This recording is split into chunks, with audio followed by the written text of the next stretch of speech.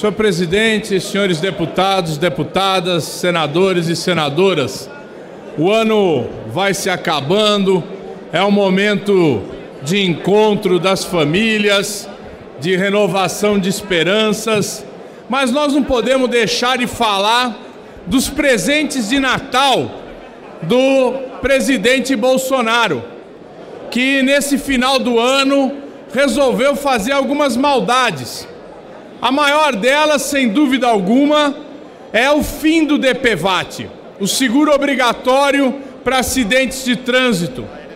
O fim do DPVAT, na verdade, é desatender a população mais pobre, o pedestre que é atropelado, o ciclista que é atropelado, o motociclista que na maioria das vezes são jovens pobres que utilizam as suas motocicletas para fazer transporte por aplicativos ganhando uma miséria.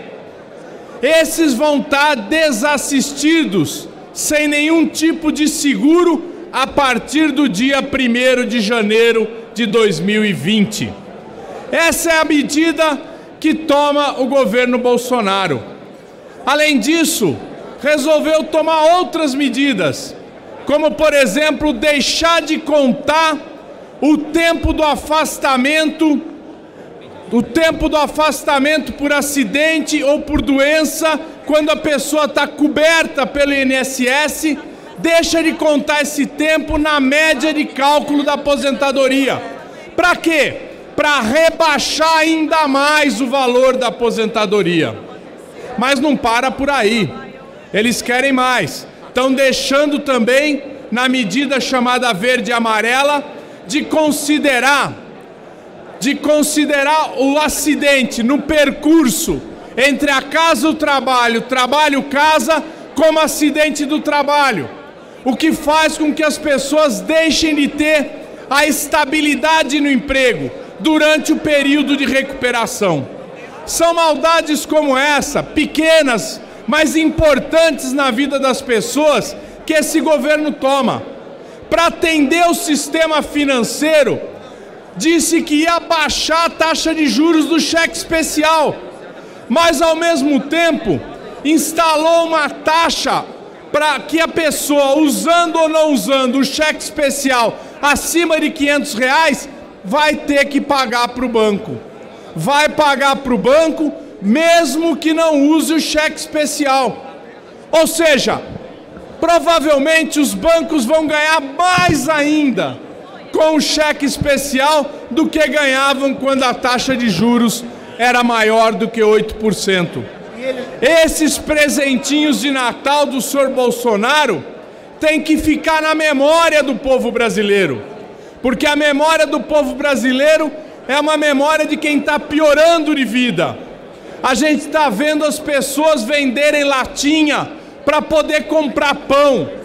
As pessoas tendo que viver debaixo da, das pontes e dos viadutos. Em São Paulo, debaixo dos viadutos do Rodoanel, já estão morando milhares de pessoas.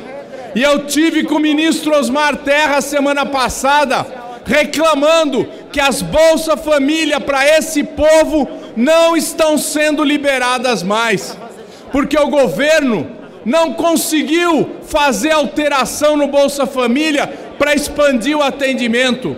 Sob o comando do Ministério da Economia do senhor Paulo Guedes, só se atende os banqueiros e não se atende o Bolsa Família.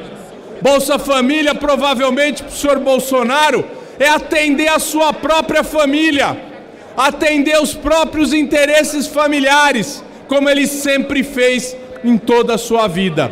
E é por isso que nesse final de ano, em que nós aqui da bancada do PT, da oposição, queremos nos solidarizar com o trabalhador, com a trabalhadora brasileira, com aqueles que vivem do seu esforço, do seu trabalho e que a cada dia que passa são cada vez mais explorados, mais oprimidos, por um sistema econômico cruel, onde os ricos ficam cada vez mais ricos e os pobres cada vez mais pobres. A esses nós desejamos um feliz Natal e desejamos que o ano que vem seja um ano de muita luta para reverter essas injustiças. Muito obrigado. Presidente, Concedo. Presidente, conce- de ordem. concedo a palavra ao deputado Marcelo Ramos, que está na tribuna. Já passa a Vossa Excelência. Agradeço. Tá, senhor presidente.